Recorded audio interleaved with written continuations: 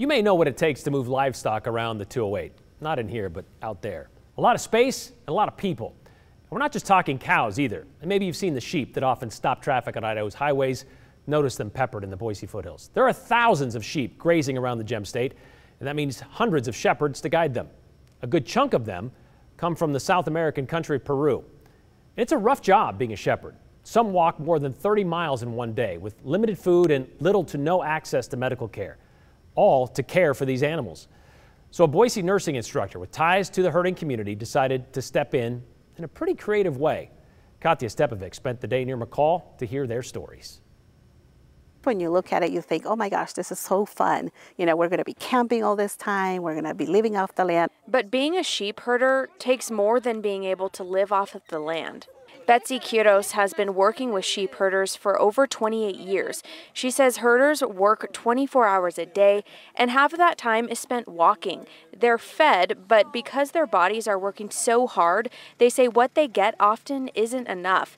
And there's not a lot of social interaction involved in this day job.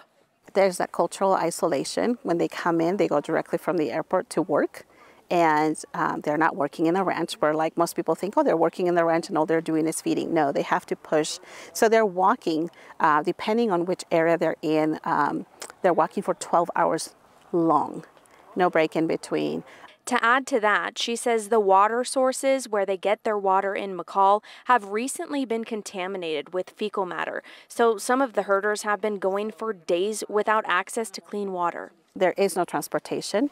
Um, they do have horses, but that is primarily to move the sheep and to make sure that we're corralling the sheep in certain areas and protecting them. Uh, and primarily is for moving the tent from campsite to campsite. Most sheep herder contracts last for three years, which takes a toll on their bodies.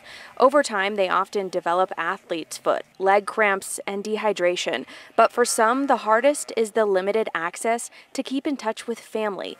Over time, many herders develop depression with the depression that they suffer from the social isolation is it's been really hard on them especially the young ones that have just arrived in april um, we have one that left home a two-year-old and it's his only daughter and um, so every time we come in, my heart just breaks because the sadness is very uh, prominent.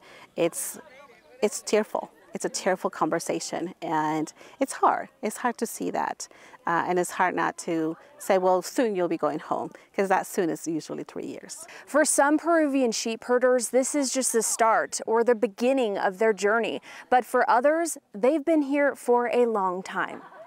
Luis Palomino is on his third contract in Idaho and has been herding for nine years. We work practically 24 hours a day because we're with the animals day and night.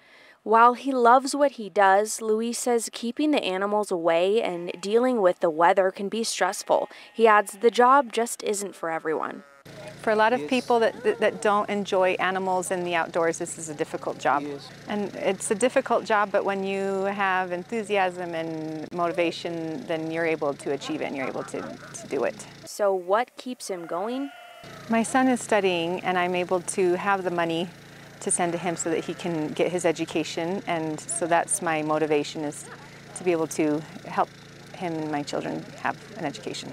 Growing up, knowing the difficulties that sheep herders face, Quiros is now a nursing professor at Carrington College in Boise, and just last year created an entire program involving her nursing students that make monthly visits to provide herders with health services, home cooked meals, while also teaching them how to cope with and avoid injuries, something Luis says he's pretty grateful for.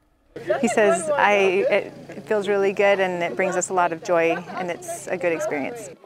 And joy and health is everything that Betsy hopes to bring the herders. And also, to know that they exist, to know that if you ever see them on the side of the road and you have maybe a Gatorade bottle or a water bottle, you know, if you can share it, you know, if you feel comfortable stopping by, these guys are very, very grateful for any kindness that you would show them.